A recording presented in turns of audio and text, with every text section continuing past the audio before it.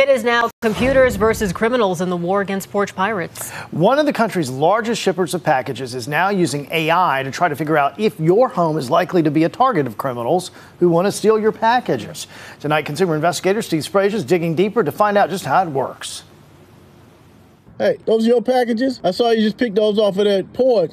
This broad daylight package theft caught on camera by a Durham resident last week resulted in the arrest of a 33 year old man. He's charged with larceny of those packages from several neighborhoods. Police apprehended him, but many porch pirates are not caught.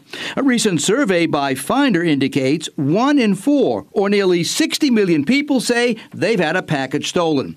With the cost of package theft soaring well past $8 billion last year, one company is turning to artificial intelligence to help battle the thieves. UPS calls it delivery defense. Delivery defense helps us identify addresses that are likely targets for porch piracy. For a merchant like Tariq Saab, who ships precious metals like gold and silver, the preventative nature of the system is very important. Here's how it works artificial intelligence uses data points including location, loss frequency, returns volume, and delivery attempts. The technology then generates a score. So for this particular address, we've got a score of 929. The higher the score, the more likely the package will be successfully delivered.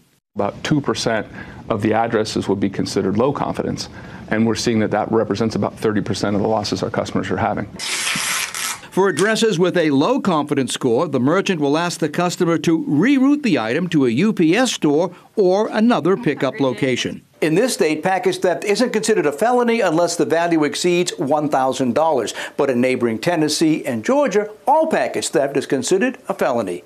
Working for you, I'm consumer investigator Steve Sbraccia.